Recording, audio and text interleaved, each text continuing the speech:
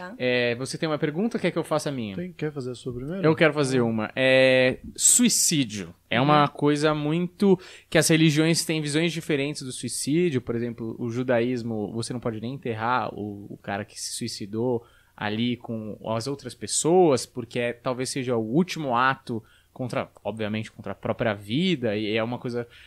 Eu queria que. Eu queria entender um pouco. é, espiritualmente falando, que leva alguém a terminar a própria vida e quais são as consequências desse ato no plano espiritual. Tem muitos. es- Antes, vamos lá. Antes do espírito reencarnar, ele passa por, um- por todo um processo. Então, é, a partir do momento, olha, você vai agora reencarnar no dia 28 de maio.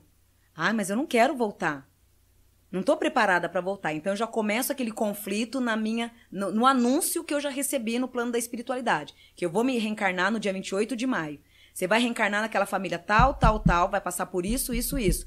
Ai, mas eu não quero. Aí começa aquele conflito imenso. Mas mesmo assim, né, como você já está numa fila ali de espera, chegou a hora, você vai ter que ir, cumprir a tua missão, né? Né? Aí naquele dia você é reencarnado. Porém, você tem duas opções, né? A de aceitar aquela reencarnação, né, de fazer o aceitamento daquela reencarnação, ou de repente de se tornar uma pessoa revoltada e não querer enfrentar a vida, que significa, por mais que você tenha aceitado, você ainda tá com ego, com arrogância, é, você ainda não foi lapidado o suficiente para entrar naquela, naquela vivência de novo, passar por determinados aborrecimentos, enfrentar vários tumultos espirituais né, naquela família.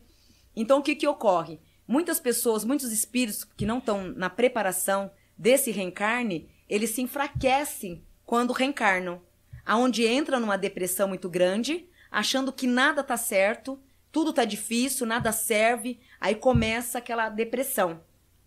Tem a depressão é, superficial, que com psicólogo, terapeuta, psiquiatra você resolve, e tem aquela que é do pré-espírito mesmo, é incontrolável. Tão incontrolável que você não consegue mesmo ter, nem com medicamento, às vezes, muitas vezes com medicamento, você não consegue ter aquele controle. Então você prefere o quê? A tua arrogância, a falta da tua humildade é tão grande que ao invés de você assumir toda aquela dificuldade, aquela vida, você prefere auto se punir. Então, onde entra o suicídio. Por isso que ele é muito penalizado por determinadas religiões. Porque é, você preferiu isolar a tua vida do que enfrentar a, a vida. É, chamamos da covardia espiritual. Em, em muitas religiões, acaba não tendo perdão. Né? Perante a Umbanda, é, entra o perdão, sim. Porque a lapidação, novamente, é o perdão, o perdoar. É, muitas pessoas falam, ai, Vandinha, o fulano se suicidou. Será que ele vai por um umbral? Nem sempre o suicida ele vai para o umbral. Porque o suicida, naquele momento, naquele ato do desespero, que ele tirou a própria vida, ele tem um conteúdo também bom. Muitos têm um bom coração, têm bom sentimento, mas veio aquela energia toda conturbada naquele momento que causou o suicídio. Então, perante a nossa religião, o perdão ele existe. E ainda a gente auxilia esses espíritos a encontrar o caminho.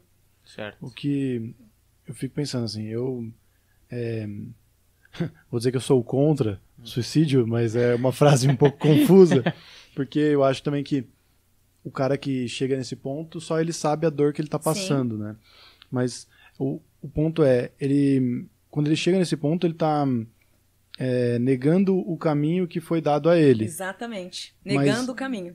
Existe uma forma de resolver isso? Tipo, uma- existe uma compreensão de, do que há em torno, né, da- das divindades? Eu não sei exatamente, eu sou muito Sim, ruim não, de achar essas, essas palavras, mas é, existe uma maneira desse cara conseguir negar o próprio caminho por ele realmente não se sentir à vontade com isso tudo que ele está recebendo e, e não se suicidar, ou mesmo se se esse foi o caminho, foi porque ou ele não teve orientação, é, ou realmente existe a possibilidade dele ser liberado pro, pro suicídio? Deixa eu ver se eu entendi um pouco. É, Você consegue me perguntar, me falar de É, novo pra mim?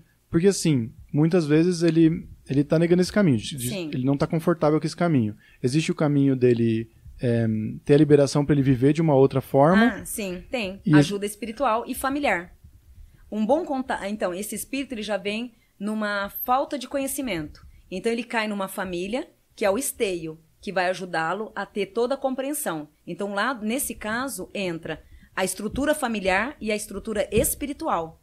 Esses dois caminhos junto, é assim, 100% pode transformá-lo. Transforma, transforma ele a mudar de opinião, a ter amor pela vida e a enfrentar a vida de uma maneira sutil, seja ela com dificuldade ou com amor. Mas existe a possibilidade da, da divindade com que ele está relacionado aceitar também esse encerramento de ciclo? Aceita, porque nesse caso ele já vem, ele já vem com a imaturidade espiritual zerada. Ele vem mesmo, ele está reencarnando novamente para poder ganhar uma estrutura espiritual, para ganhar colo de família, para ganhar amor de pai, amor de mãe, amor de amigo, amor da sociedade. Mas o, o colo principal é pai e mãe. Então ele já veio ali, naquela, naquela família ele vai ganhar toda a energia do amor. Porque uma pessoa que é amada, protegida, ela jamais vai querer tirar a vida dela. Né? Um espírito bem resolvido em relação pai e mãe, eles jamais vão querer é, se matar, vão querer viver, curtir família. Quando esses espíritos vêm, eles vêm para ter essa essência do colo, da doação, do amar. Mas, por exemplo, se, se por acaso ele escolhe também tirar a própria vida, ele tira a própria vida com a, com a liberação de Deus, sabe? Assim, eu tô colocando aqui. Posso tentar? Eu, ah. O que eu acho que é. A pergunta é o seguinte: é, o suicídio, claro, eu acho que espiritualmente falando, nunca é uma coisa boa, é sempre uhum. uma coisa meio ruim, porque o cara tá negando um caminho, a vida, etc e tal. Mas existe alguma possibilidade do cara estar tá num lugar tão ruim que a, a, as próprios espíritos e a própria divindade, vamos dizer assim, liberam esse suicídio, tipo assim, cara, a gente entende ou isso não acontece. A parte, a parte positiva da espiritualidade jamais auxiliaria ele a uhum. isso. Jamais. Deus jamais permitiria isso. Deus, né, a Zambi, no caso, ia pedir para que ele lute. Nesse caso, quem entra são os obsessores, uhum. porque, veja bem, ele já está num, num grau zerado. Então, a partir do momento que a pessoa quer tirar a própria vida, ele já não tem uma vibração espiritual nenhuma. Ele não tem Deus, ele não tem nenhuma entidade, ele não tem fé em nada. Ele está ali se perdendo, né? Então, nesse caso, é, não é a força espiritual, não é Deus que está permitindo, e sim uhum. os obsessores. Espíritos, é, vamos dizer, uma quadrilha de bandido que está ali cutucando ele para poder se matar. Vamos, vamos falar o português do catolicismo, o capeta. Uhum. Né? O diabinho tá ali, infernizando ele. Ai, se mata mesmo a sua vida. Então tá dois lados, né? O positivo e o negativo. O negativo, ai, se mata mesmo, a sua vida não serve para nada. Você é um inútil, ninguém gosta de você. Ai, você viu aquele relacionamento teu? Foi isso? Olha, tua vida não tá servindo para nada. Se mata. Uma força negativa. Aí, se a pessoa tem um pouquinho de estrutura familiar, é, berço de colo, de aquele amor familiar, ele já entra num pedestral de cambalear. Uhum. Né? Então, aí vem um lado positivo. Olha, não faz isso, olha o teu pai, olha a tua mãe, olha a tua vida. Então, ele vai ter esse jogo do negativo com o positivo. Certo. Se ele não tem a estrutura do positivo, o negativo engole.